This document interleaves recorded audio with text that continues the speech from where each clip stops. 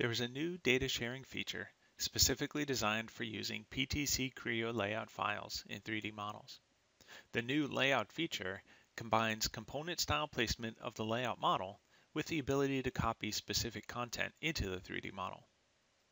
When you create a layout feature, you start by selecting the layout that you want to use. You then need to place the layout inside the 3D model using the same tools that are used to assemble any other 3D model. You can reference any of the geometry in the layout model for placement or use a coordinate system. Once the layout file is placed, you can then select the geometry that you want to copy. The layout model in the model tree can expand to show the sublayouts, structure nodes, and tags contained in the layout.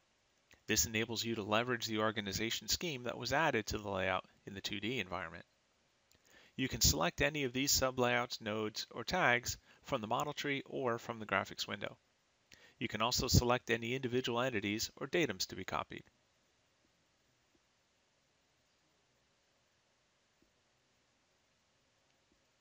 When you expand the layout feature in the model tree, you will see that the layout feature contains the entire layout model as well as some copied content.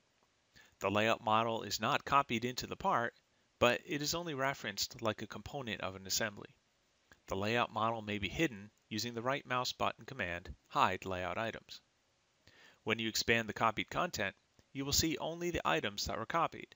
These items are also now visible in the graphics area. If you've copied a simple profile with no intersecting loops, you can directly create an extrude or revolve feature using this geometry. You can select the layout feature and then select extrude or revolve and specify the depth. For more complex profiles, you can enter Sketcher and choose which parts of the profile you want to reference with your sketch.